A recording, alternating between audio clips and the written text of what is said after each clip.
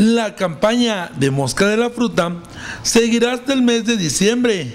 Este último semestre será financiado gracias a los recursos que se gestionaron ante la federación con un monto de 6 millones de pesos, manifestó el presidente del Comité Estatal de Sanidad Vegetal, Carlos López Cardona. Sí, derivado a la programación de los programas de trabajo 2014 en la campaña de moscas de la fruta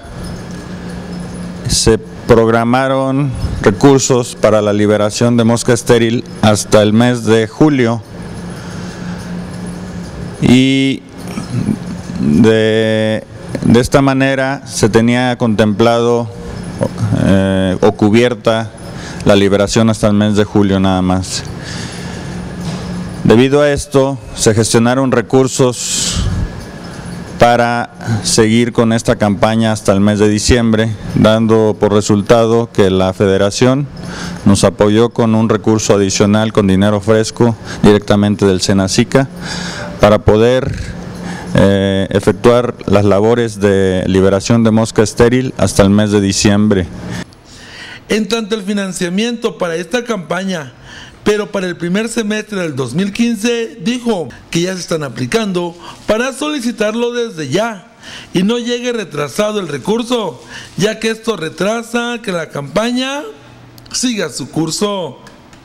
El próximo año se van a hacer las propuestas de programas de trabajo ya en este mes de septiembre para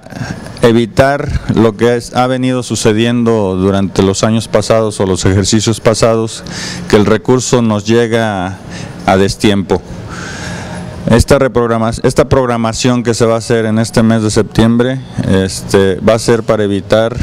eh, esta tardanza y aparte se va a programar recurso eh, que sea necesario